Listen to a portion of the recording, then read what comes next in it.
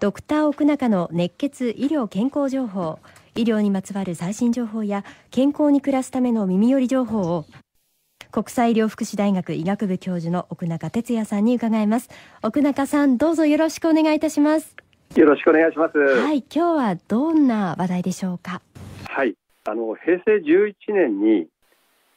感感染症法に基づく調査が始まって以来令和3年に初めて全国の患者数が1万人を超え、今年も3年連続で患者数が過去最多を更新した感染症があります、はい。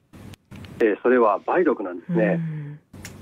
えー、特に20代の女性や 20, か20代から50代の男性が突出して増えています、えー、えー、皆さん梅毒という病気の名前は非常にこうご存知だと思うんですが、はいこの感染によって現れる症状や治療方法などは意外に知られていないようです。えー、そこで今日は感染者が急増している梅毒についてお話ししたいと思います。はい、まずこの梅毒がどういう病気なのか改めて教えてください。はい、えー、梅毒は他人の粘膜や皮膚と直接接触する性的接触によって、えー、うつる感染症です。えーまあ、1492年に、まあ、新大陸を発見したコロンブス一行が現地の風土病をヨーロッパに持ち帰ったという説が有力で当時悪魔のお土産と呼ばれたそうです。強力な感染力でその後瞬く間に全世界に広がり日本にもわずか20年足らずで伝わってきたと言われています、えー、梅毒の原因は梅毒トレポネーマという細菌です。病名は症状として知られることがある赤い発疹が溶梅山桃なんですが、はい、この実に似ていることに由来しています。どうしてこの梅毒今感染者増えているんでしょうか？はい、まあ、大きく3つの要因が考えられると思います、はい、まあ、1つ目は性的行動の多様化です。まあ、患者さんに若い方が多く、まあ、ネットや SNS の普及などにより不特定多数の人と性交渉が増えているのが一因と考えられています。2つ目、えー、梅毒は偽装の達人と呼ばれるほどいろいろな病気に似た症状が出るため、うん、時に医師でも判断がつかないことがあることです。またネットで間違った自己診断をして病院への受診が遅れてしまうというケースも多いようです。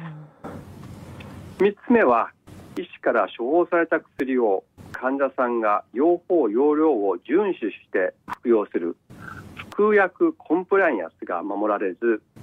治療を完了できない人がいることです、えー、梅毒は途中一旦症状が落ち着くことがあるためなんとなく治った気がしてもう大丈夫だろうと服薬をやめてしまい人にうつしてしまう患者さんが少なくありません。ん。あの先ほどいろんな病気に似た症状が出てこう医師でも判断がつきにくいということでしたけれどもどういう症状の時に病院に行けばいいんでしょうか？はい、まあ、あの典型的な症状としては、ええ、感染後1か月程度で性器や唇に硬いしこりのようなもの、まあ、高血というんですが、はい、まあ、これができたり、まあ、ただれたりします。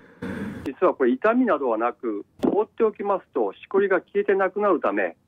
この段階で感染に気づく人がほとんどいないというのが梅毒の恐ろしいところなんですね。もちろんこの時期に性的行為を行えば相手にうつしてしまいます。まあ、感染後3ヶ月程度経ちますと体内に侵入した病原菌が血液を介して全身に広がり小さなバラの花に似たバラ疹という赤い湿疹が全身に生じるようになります。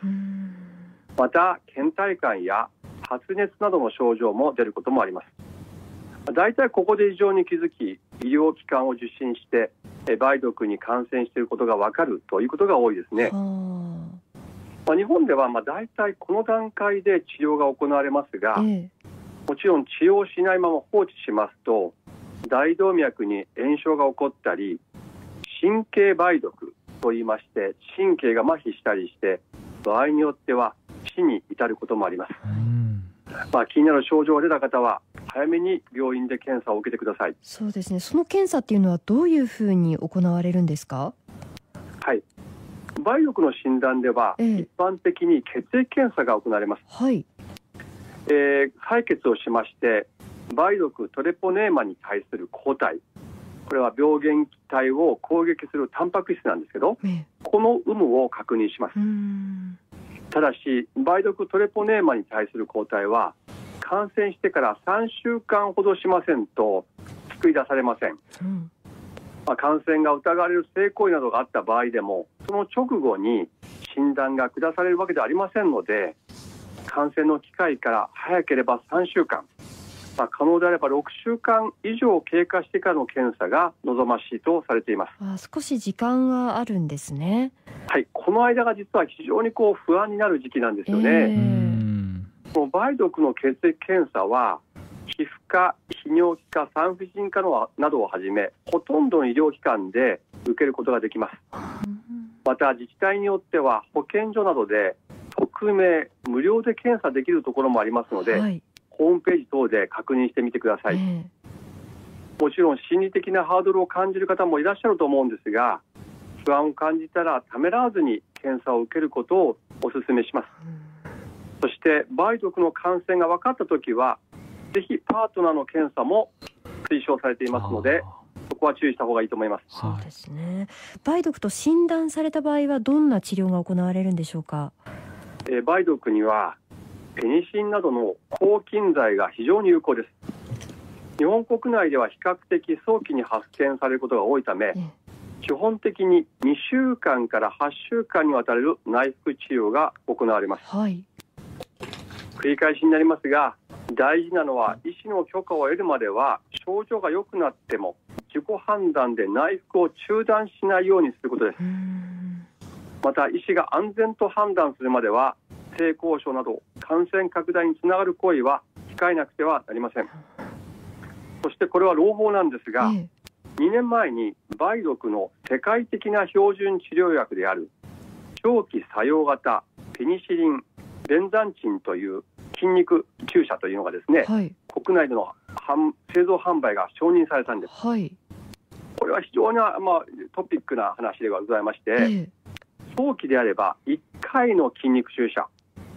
後期でも3回の筋肉注射で治療が可能になりました。あ短期間で治療できるんですね。あの途中でですね内服っていうのは1日3回薬を飲んで、まあ、2週間から8週間ですから、ついつい、まあ、お昼忘れてしまうとかいうことがあるんですが、えー、もう注射によってそういうことの、まあ、ことがあなくなるようになると思います。えー、そうですね。あの早く治療するっていうことがやはり大切になってくるんでしょうか？はい実はあの梅毒が完治しても免疫を獲得することはないんですね。えー、つまり今後の新たな感染を予防することはできないんです。そうなんですね。したがって、えー、コンドームの使用やパートナーの治療など適切な対策が取られていませんと再び梅毒にかかる可能性があります。はい、えー、特に妊娠中に梅毒に感染しますと母体から胎児への垂直感染これ母子感染というんですが、これを起こす確率が40%ほどと非常に高く、胎児に梅毒が感染しますと先天梅毒といい死産や子どもに後遺症が残ることがあります。妊娠中に感染しないようくれぐれもくれぐれも注意してください。一つ質問が届いています。ムーニーおじさんから、はい、会社のトイレが怖いっていうことなんですけどこれはどうですか？トイレで感染するということは粘膜の直接接触でありませんから、えー、トイレから感染することはないと考えて結構です。わかりました。国際医療福祉大学医学部教授の奥中哲也さんに伺いました。奥中さんありがとうございました。ありがとうございました、はい